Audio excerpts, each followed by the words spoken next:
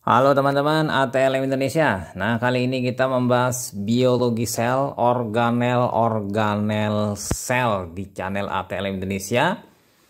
Media informasi informasi dan perkuliahan online bagi ATLM. Jadi kita bahas bagian-bagian atau uh, apa namanya isi dari sel yaitu organel sel. Nah, kita mulai dulu dengan organel sel. Apa sih organel sel? Jadi organel sel itu merupakan struktur intrasel yang dikelilingi oleh satu membran atau lebih.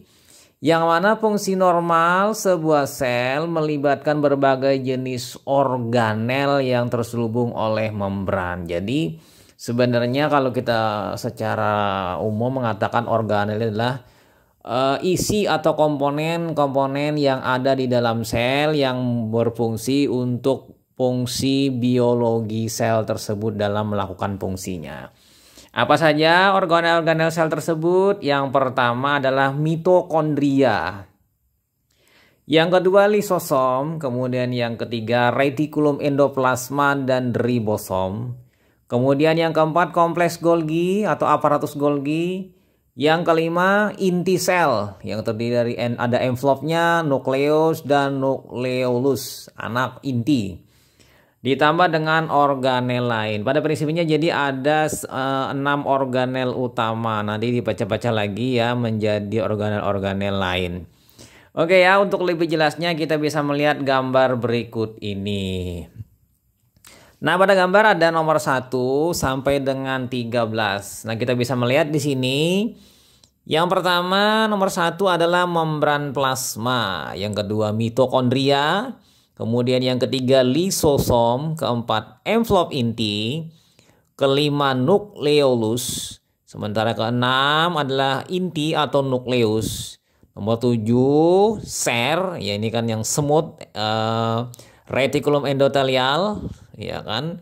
Kemudian yang ke-8 rare ini adalah yang raw, yang kasarnya, yang tadi smooth, yang halus, yang kasar dari reticulum endot, endot, endot apa namanya endoplasma. Kemudian nomor 9 kompleks Golgi atau aparatus Golgi. 10 vesicle secretory. 11 peroksisom, kemudian 12 sitoskeletal dan yang 13 adalah mikrofili. Jadi ini pada prinsipnya seperti ini ya, ada 13 secara detail organel-organel yang ada pada sel ya. Nah kita bahas satu persatu sebagai berikut. Yang pertama adalah membran plasma. Jadi membran plasma di sini mengatur pergerakan molekul masuk dan keluar sel. Jadi masuknya keluar sel ini diatur oleh membran plasma. Membran plasma juga berfungsi sebagai barrier semi permeable. Oke, jadi keduanya sama fungsinya tapi barrier permeable ini hanya produk-produk atau molekul tertentu yang yang bisa lewat sementara yang lain tidak bisa lewat. Itu adalah semi permeable. Barrier ini pertahanan ya. Oke. Kemudian yang nomor dua adalah mitokondria. Mitokondria ini khas sekali adalah tempat memproduksi zat-zat berenergi tinggi. Jadi produksi ATP, adenosin trifosfat sebagai produksi energi bagi sel. Yang kedua, dia tempat respirasi aerob. Di sini terjadinya siklus Krebs jadi siklus Krebs yang mana dari siklus Krebs ini menghasilkan ATP ya dari apa namanya metabolisme gula. Misalnya glukosa.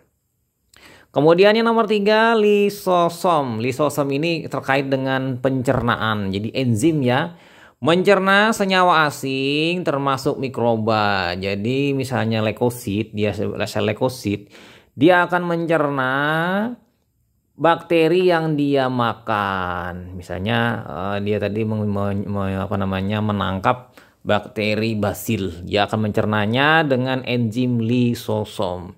Kemudian yang kedua mencerna kelupasan jaringan. Jadi di sini maksudnya apabila uh, ada kerusakan jaringan atau hal yang terkait dengan matinya jaringan maka dicerna oleh lisosom sehingga terjadi uh, peluruhan sel tadi misalnya sel tadi mati lalu lisosom dilepaskan maka hancurlah sel yang lepas terlepas tadi bersama-sama dengan bakteri asing dan lain-lainnya membentuk suatu massa mungkin biasanya disebut dengan fus atau nanah di jaringan tersebut.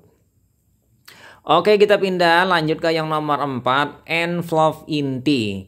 Ini merupakan membran ganda menutupi kandungan nukleus. Jadi dia adalah envelope. Envelope ini adalah selubung.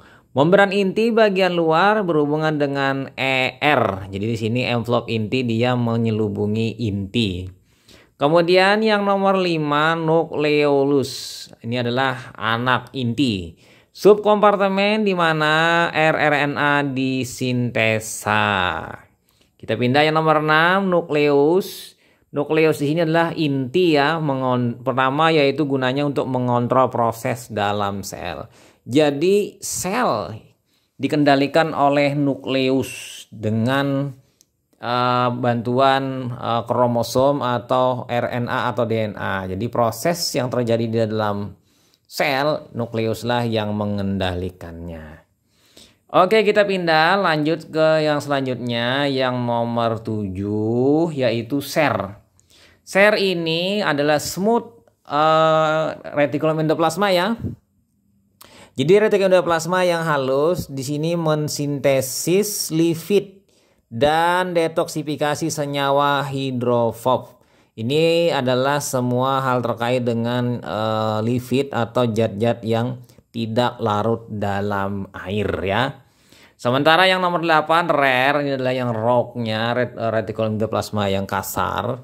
Ini merupakan tempat sintesis, processing dan sekresi protein sekretori. Jadi protein sekret ya protein lisosomal maupun protein membran. Di sini mulai pembentukannya, memprosesnya, mensesuaikan hingga mensekresinya. Nah, kita pindah yang nomor 9, kompleks Golgi atau aparatus Golgi. Jadi aparatus Golgi ini sebagai processing dan sortir protein sekretori. Dia di sinilah yang melakukan proses sortir, ya kan? Jadi sebelum dilepas dia harus masuk ke kompleks Golgi dulu untuk dilakukan proses sortir.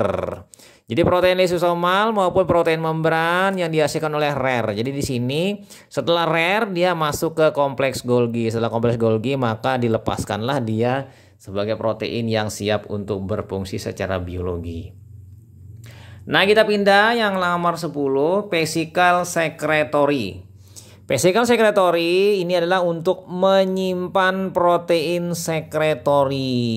Vesicle ini adalah sebuah apa namanya uh, tempat ya untuk menyimpan protein tersebut dan mengalami fusi dengan membran plasma untuk melepaskan isinya. Jadi nanti dia bisa mengalami fusi ya membelah membelah ya kemudian terbelah lalu melepaskan isi tadi uh, isi protein sekretori tadi ke plasma. Kemudian yang sebelah serat sitoskeletal ini adalah rangka dari sel. Jadi membentuk jaringan dan bundel yang menyokong membran seluler. Ya kan di sini membantu organisasi organel maupun partikel dalam pergerakan sel. Jadi sitoskeletal ini adalah rangka yang memberikan bentuk pada sel juga berfungsinya juga untuk pergerakan sel sehingga sehingga pergerakan sel ini terkait dengan uh, sitoskeletal ini. Kita pindah lanjut lagi selanjutnya yang nomor 12 peroksisom. Jadi peroksisom ini kalau kita berkata peroksisom berarti ada peroksidase ya. Di sini peroksisam ini untuk detoksifikasi beberapa molekul dan memecah asam lemak menghasilkan asetil untuk biosintesa. Jadi fungsinya di situ ya untuk detoksifikasi. Dan yang terakhir adalah mikrofili.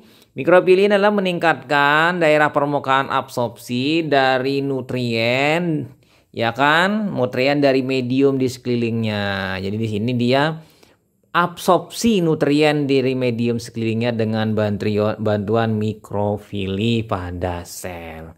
Oke ya, itu sebanyak 13 organel sel yang kita bahas secara ringkas pada pertemuan kali ini. Semoga memberi manfaat bagi teman-teman sekalian yang sedang belajar biologi sel. Selamat belajar, semoga bermanfaat. Sampai jumpa di video-video selanjutnya. Saya Ahmad Le pamit. Bye.